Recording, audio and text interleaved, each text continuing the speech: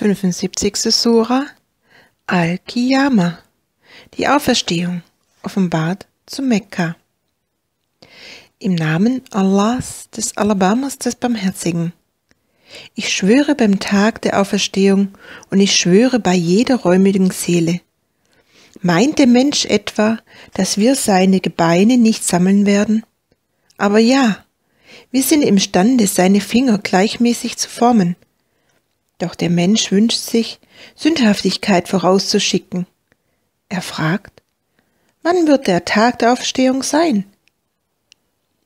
Dann, wenn das Auge geblendet ist und der Mond sich verfinstert und die Sonne und der Mond miteinander vereinigt werden, an jenem Tage wird der Mensch sagen, wohin könnte ich nun fliehen? Nein, nun gibt es keine Zuflucht. Nur bei deinem Herrn wird an jenem Tage die Endstation sein. Verkündet wird dem Menschen an jenem Tage, was er vorausgeschickt und was er zurückgelassen hat. Nein, der Mensch ist Zeuge gegen sich selber, und wenn er seine Entschuldigung vorbringt. Bewege deine Zunge nicht mit ihm, dem Koran, um dich damit zu übereilen, uns obliegt seine Sammlung und seine Vorlesung. Darum folge seiner Verlesung, wenn wir ihn verlesen lassen. Dann obliegt uns, seine Bedeutung darzulegen. Nein, ihr aber liebt das Weltliche und vernachlässigt das Jenseits.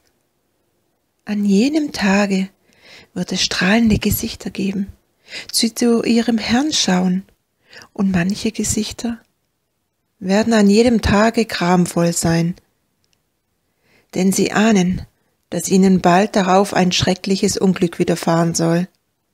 Ja, wenn die Seele eines Sterbenden bis zum Schlüsselbein emporsteigt und gesprochen wird, wer kann die Zauberformel sprechen, um sie zu erretten?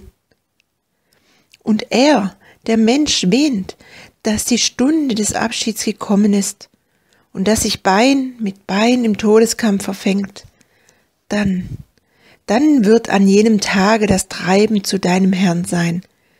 Denn er spendete nicht und betete nicht, sondern er leugnete und wandte sich von ihm ab.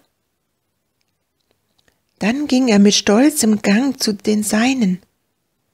Wehe dir denn, wehe, und abermals wehe dir, und nochmals wehe.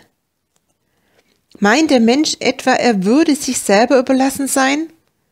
War er nicht ein Erguss verspritzten Spermas? Dann wurde er ein Blutklumpen, dann bildete und vervollkommnete er ihn, alsdann schuf er aus ihm ein Paar, den Mann und die Frau. Ist er denn nicht imstande, die Toten ins Leben zu rufen?